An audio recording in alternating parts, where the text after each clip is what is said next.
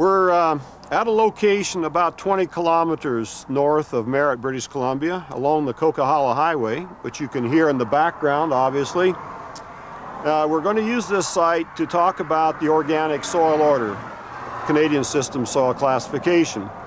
And a lot of ways it's appropriate to be here next to a highway because this site has been disrupted by highway construction as have many other organic soils across the country and across the world. This site here will give us an opportunity to talk about the landscape in which these soils formed and what you can tell by looking at the soil profile. Most of the processes in the development of uh, mineral soils uh, involve loss of material or weathering of material or whatever, mineral, mineral constituents.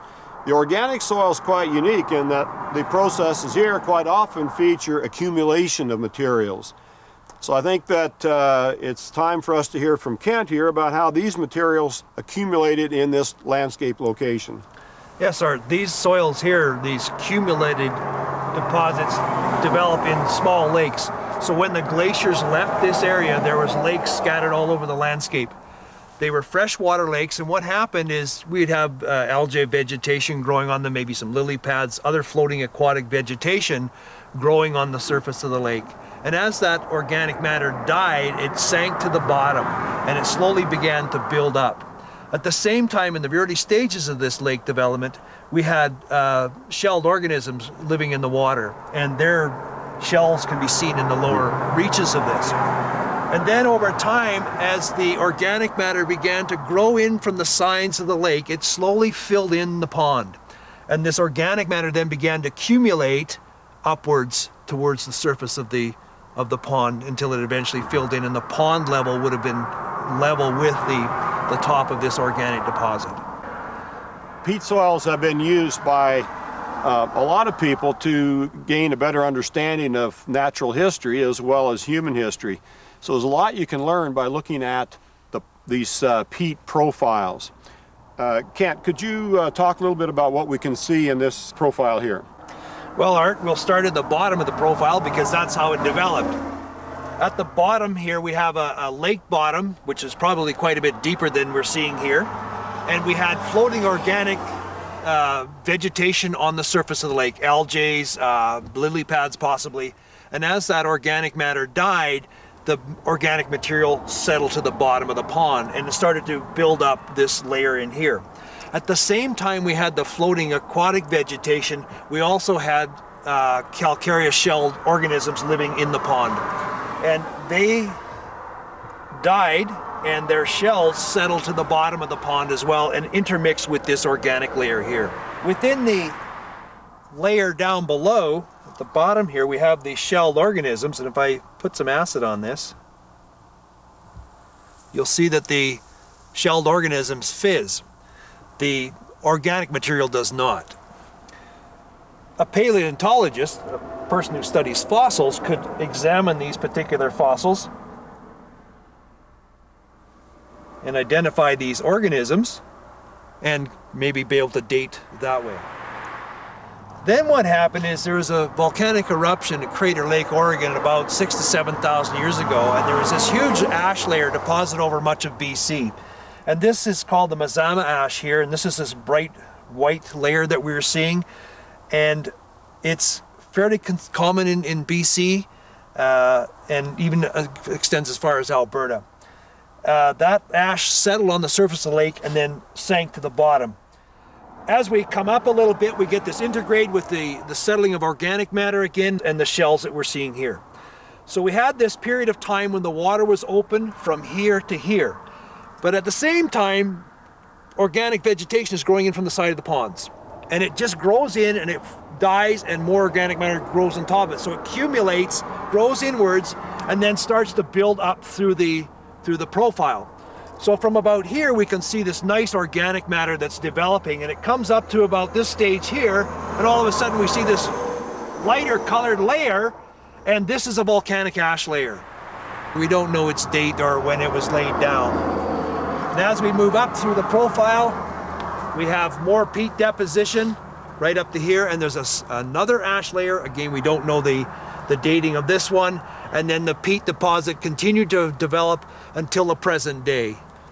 We can look at this uh, soil profile and get some idea of the age of the deposit here, but how do we do that? There's a number of different ways we can date things, and with a peat soil, we have organic material and woody material in the profile that can be carbon 14 dated.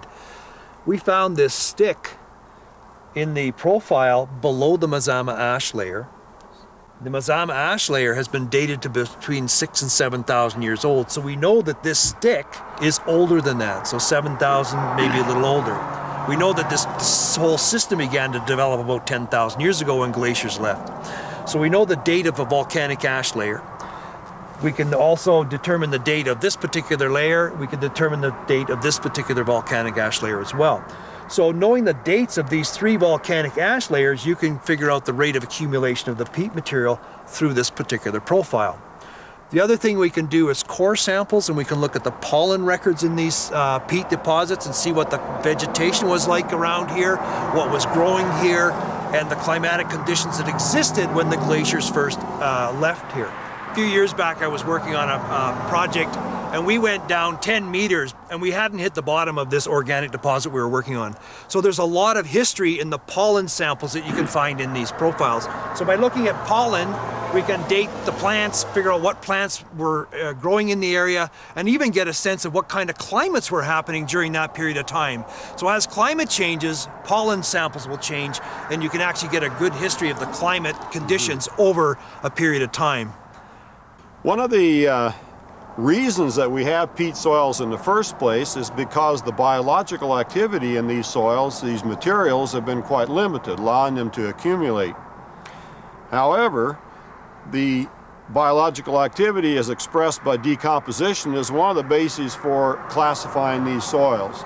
So perhaps, Kent, you could illustrate that with this soil profile here. Yes, sir. We look at the soils, the organic soils, and we have three levels of decomposition that we can recognize.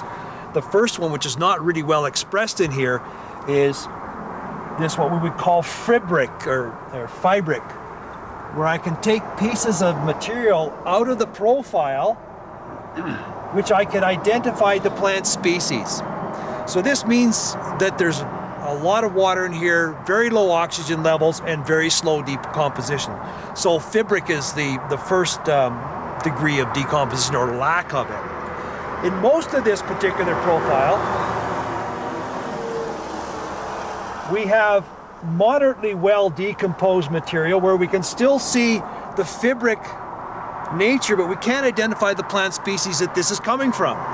So this is what we would call a mesic stage in decomposition. So it tells me that there are times there was oxygen able to get into this profile so decomposition could proceed to some degree. So that's the, the mesic. This profile we classify as a mesisol based on this particular state of decomposition.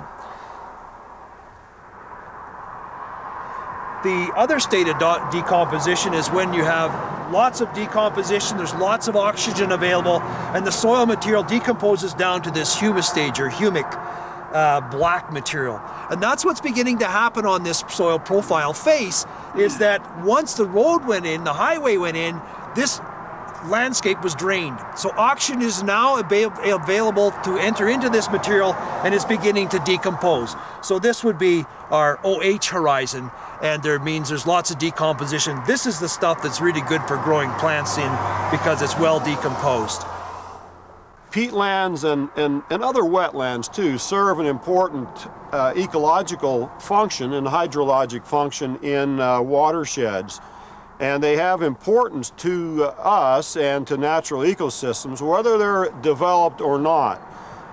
For example, when rainfall falls in a watershed, the wetlands like this would absorb the water and release it at a gradual rate, which uh, helps to prevent flooding and also to maintain stream flows later in the summer. They also serve as uh, a store for nutrients, releasing nutrients at a gradual rate.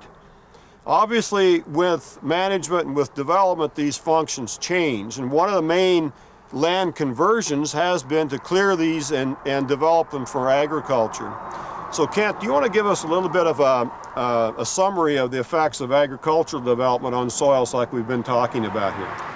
In the interior here, uh, these deposits are used mostly for cattle grazing, so they're not really disturbed or manipulated in any uh, serious fashion, but they are grazed.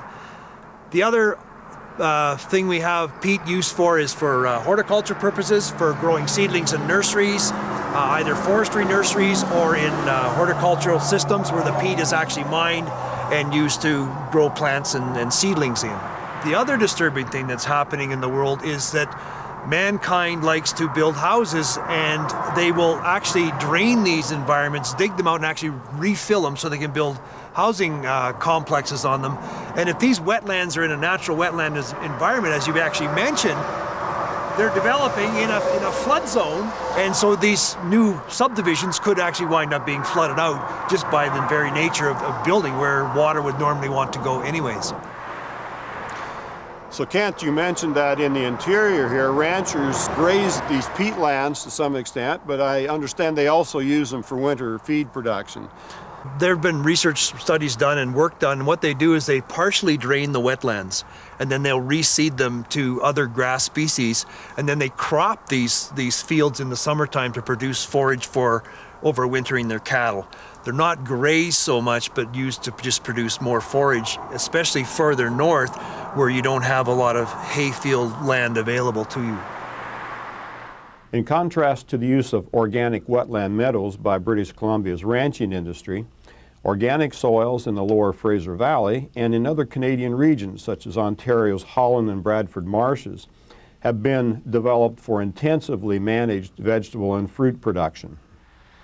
Agricultural practices include drainage, fertilization, liming, and intensive tillage, all of which encourage organic matter decomposition and the subsidence of organic soils until they merge with underlying materials. In British Columbia's Cloverdale region, the underlying land surface prior to peat formation was an undulating floodplain with fine textured alluvium laid down in a marine environment. As the peat subsides, the marine clays are exposed and the soil's suitability for some crops, such as carrots, is diminished. In this field, you can observe the clays, that is, the lighter colored materials, beginning to emerge from the darker colored peats that surround them. So the question must be asked is agriculture sustainable on organic soils? Although the range of crops is slightly more narrow, the Cloverdale soils continue to be productive even after they subside. The management practices must adapt to the resultant soil, which will be much higher in mineral materials. In other cases, the underlying materials may be entirely unsuited to agriculture, boulders, for example, and the loss of the peat signals the end of agriculture on the site.